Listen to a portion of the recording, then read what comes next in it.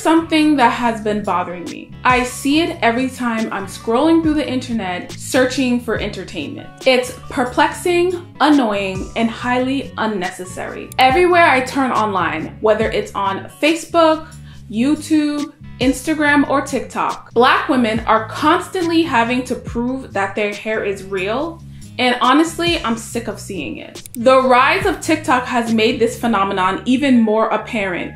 Usually, I can't go a couple of days without encountering a video gaining traction online because a black woman once again had to prove that her hair is real. Before we get further into this video, please make sure to like, comment, and subscribe. If you are interested in joining the Long Hair Nation, feel free to check us out at the Waiting Room NHB. It's gonna be link down below. The Waiting Room NHB is a place where we are making incredible strides when it comes to overcoming the plateaus of growing long, kinky, curly hair. Without further ado, let's get into this video. TikTok is a very controversial social media platform. Its existence alone creates heated discussions within governments all around the world. In the past, TikTok has had its fair share of scandals from alleged accusations of ghost banning dark skinned creators on their platform to allegedly promoting trends that has led to the deaths of minors. TikTok has had many hurdles that it has had to navigate through. But if there's one thing that TikTok is good at, it would be magnifying the issues that are already existent within our society. Honestly, I have had to take TikTok in doses or else I would be a very angry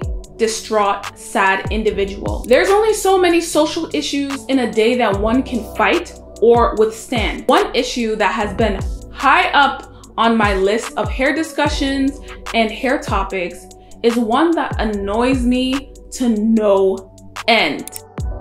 Can you guess what it is? Well, I'll just tell you anyway. You cannot scroll five minutes on TikTok without coming face to face with a video of a black woman parting her hair and showing her scalp online. Maybe she's showing black women how to use dry shampoo. Or maybe she's trying to show us the freshness of her press. Unfortunately, neither options are the case. More than likely, these women are responding to comments accusing them of having fake hair. Why do y'all do that? Why do y'all ask black women if their hair is real to prove that their hair is real when it's long? Like, are we not allowed to have long hair as well?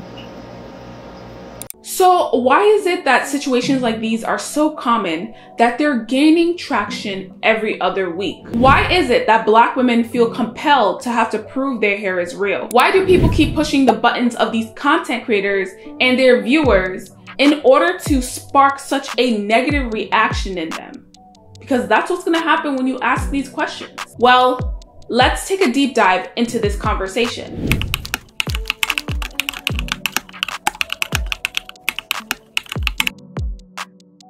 Back in the 60s and 70s, all the way up to the early 2000s, most women, but not all, believed in wearing weaves that tend to be more on the natural side. The goal was to make people believe that your hair extensions were your own hair. But now, things have changed. Today, black women mostly focus on obtaining an aesthetic rather than caring if someone believes that their hair is real or not. Internet culture has enhanced this phenomenon by giving black women information and knowledge on how to obtain these hairstyles for themselves. That's how hair techniques allotted only to the rich or the famous began to trickle down to the everyday woman. Nowadays, women can look like Lil' Kim one day and Rihanna the next. They could look like Cardi B on Friday, Beyonce on Tuesday, Naomi Campbell on Saturday, and their favorite housewife on Sunday. Social media is a public space, so as a result of sharing this information, many other ethnicities began to learn about the secrets to kinky coily hair care. Years ago, people would often wonder how black women were able to style their hair in the various styles and what techniques were they using. Now you have little kids in the comment section of TikTok telling black women that they're doing their hair wrong. The intersection between social media and the world of kinky coily hair care online has many positives to it, but there are many negatives there as well. The frequent and almost daily criticism of black women's hair online has alerted the attention of non-black people to the world of kinky coily hair care. For instance, since this child's birth, Blue Ivy's hair has been a subject of public scrutiny. This is still apparent with the recent drama concerning up-and-coming rapper Saucy Santana. In 2012, Gabby Douglas became the Olympic all-around champion, but instead of focusing on her accomplishments, criticism of her hair went viral. See, what happened to me in the club today with my hair is the same that happened to the females in the gymnastic Olympics, whatever the you know, when we sweat our hair out, our kitchens start coming out, right? And it really disgusts me how a lot of you black females, a lot of you Spanish females was coming at them saying that their hair wasn't done. Their hair that was done. They were it was brushed. The problem was that they sweated out, and this what happened to our hair when it sweats out. Y'all wanna be jacking that y'all so pro black, so pro black. If black lives matter to y'all so much, then black looks Afro looks should matter to y'all too. You know what I'm saying? Y'all so used to us perming our mother hair. Y'all not letting us love our real hair. And this comes with it. This what come with our coarse hair. And I'm not gonna say it's nappy. This is strong hair because when I get into a fight, put my hair, my don't come out. You hear me? In 2019, Meek Mill used his public platform to call out lace fronts garnering the attention of millions.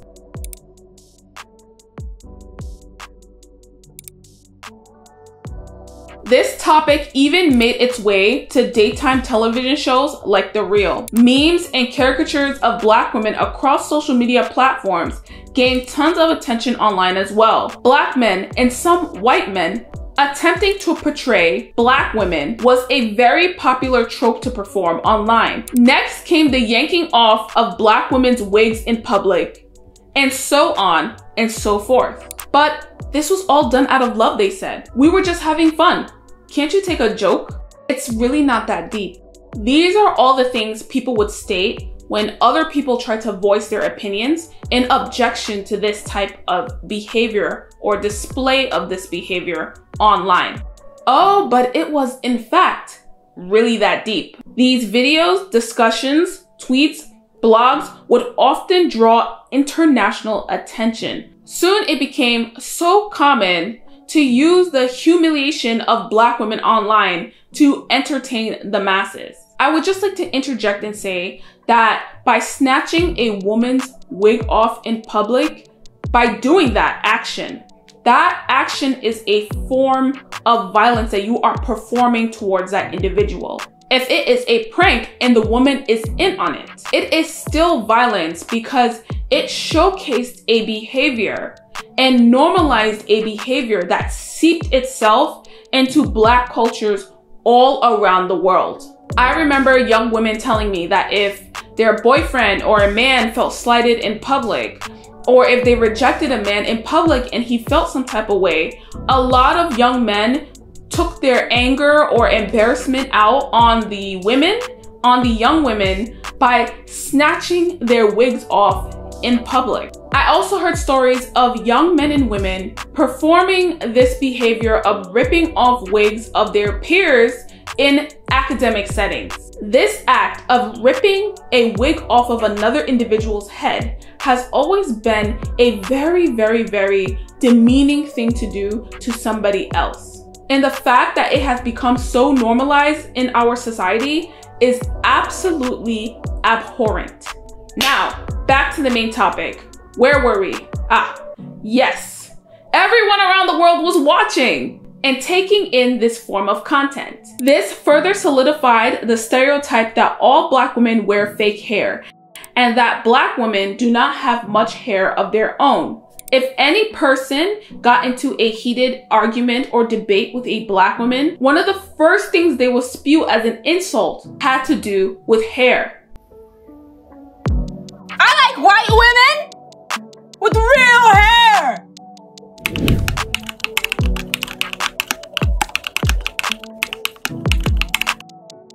long natural hair is still considered uncommon when it comes to kinky coily hair. Despite the vast sea of information on social media concerning kinky coily hair care, many black women are still not seeing major growth. As a result, natural hair has become mainstream, but long kinky coily hair has not. Instead of coming up with strategies to help these women achieve their hair goals and hair dreams at least once in their life, many people online have turned to telling these women to settle, to become complacent in their hair goals and achievements. And we all know what happens when you decide to settle with anything in life. You'll always be thinking in the back of your head, what if? Thus, many women put limitations on their hair, stating things like, I can't do this, or I could never do that. I can't foresee that in my future. Many women decide to settle, causing long, kinky, coily hair to become even rarer. Shrinkage also plays a role as well. Kinky, coily hair was not created to hang down low, but it expands outwards. We are so used to gauging a woman's length of hair once she gets her annual silk press, instead of by just how wide her afro is.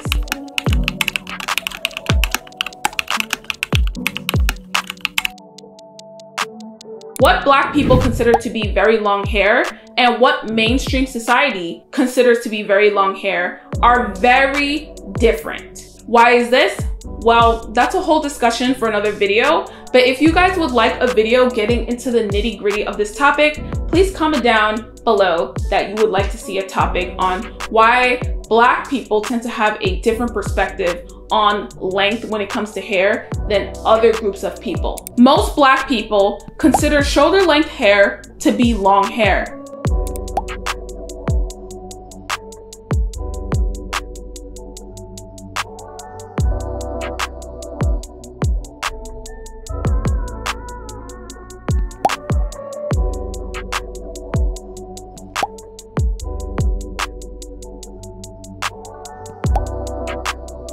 Y'all act confused, but then I have to do this dig through your hair just to see your scalp, and y'all claim, oh, I didn't know I had long, thick hair. That was me whispering in her ear, make sure you add long, thick hair next time.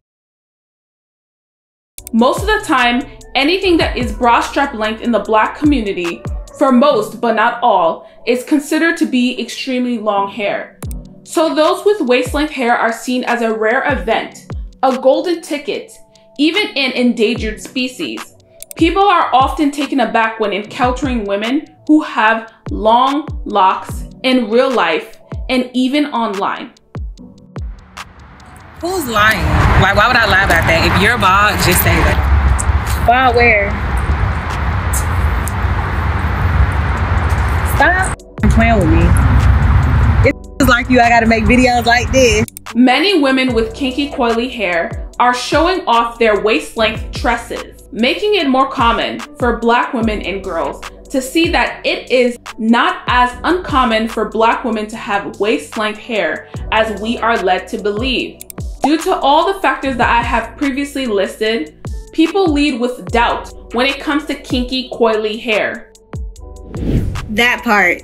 The only reason showing my hair is a problem is because I don't look like this. Y'all know good and well there are many light-skinned girls with loose curls showing their hair all over their page and no one has an issue with it. But because my hair looks like this and I am this shade, it's an issue. Because y'all don't think tighter hair grows. So y'all see my videos as bragging because y'all think I'm the weird exception to the rule. Even though I have a whole page telling you how to do it. So the jealousy and the bitterness is not even needed. And don't get me started on the wig thing because that's gonna need to be a part two. It has become so normalized to doubt the authenticity of black women first instead of listening to what they have to say about hair growth. While other races and ethnicities tend to believe that the individual sharing hair information has real hair until proven otherwise, which I find very interesting because many women in today's society and age wear some form of hair extensions it's no longer just black and Jewish women. It's also become known that many brands will install hair extensions on their models' hair in order to sell their hair growth treatments, shampoos, conditioners, and many other hair products.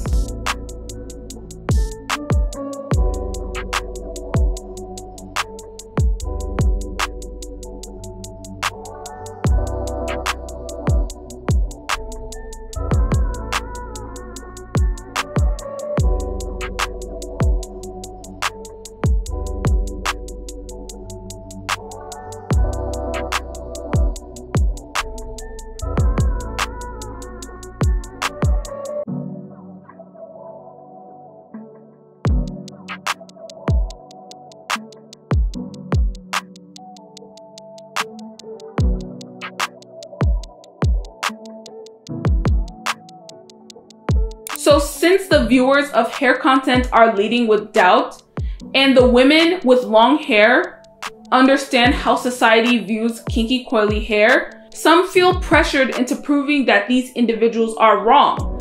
As a result, these moments go viral because it debunks the myth that black women cannot have long hair and exposes the biases that society has towards kinky, coily hair types. These viral moments also inspire many women with kinky, coily hair to want to grow longer hair. But it can also cause extreme jealousy in individuals who have always dreamed of having long hair, but often are told to settle. With all that being said, I still wish that black women did not have to prove that their hair is long. It's time for long natural hair to be mainstream.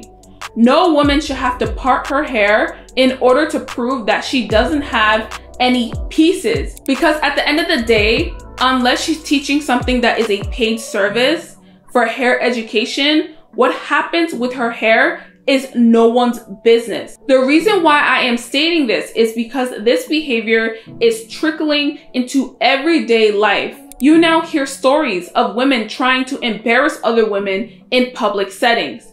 If a woman is getting attention for her hair, her hairstyle, or her looks, and another woman feels threatened, she will try to expose her in public by stating that her hair isn't real in front of a group of people. This behavior can come from a stranger, a colleague, or a friend you thought you were close with. In fact, this has happened to me plenty of times within professional settings, whether I was wearing my real hair or not. So how can we properly ask women about their hair without offending them or without accusing them of wearing pieces? You can start by complimenting the style or telling her that her hair looks beautiful. Ask her who did her hair and how her hair was styled. Also, one thing that I personally like to do is wait until everyone is gone or call the individual I wish to question out of hearing range and to the side to ask her about hair details. This usually makes the person more willing to respond to my question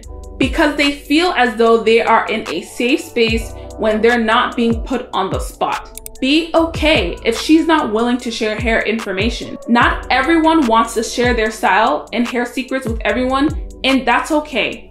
In conclusion, just to be clear, I am not upset by the fact that women are parting their hair to showcase that their hair is real online. I'm not upset at these women. What is annoying me and what is upsetting me is that even in 2022, we still face these stereotypes and assumptions when it comes to kinky, coily hair types. You would think that by now these type of stereotypes would have died out, but no, they are still alive and well. Well, that's all I have to say about this topic. What do you think about the points I made in this video? Do you disagree or agree? Let me know down below in the comment section. I'm always happy to have open dialogue with you all. Thanks so much for watching and I'll see you next time on Dynamic Touch.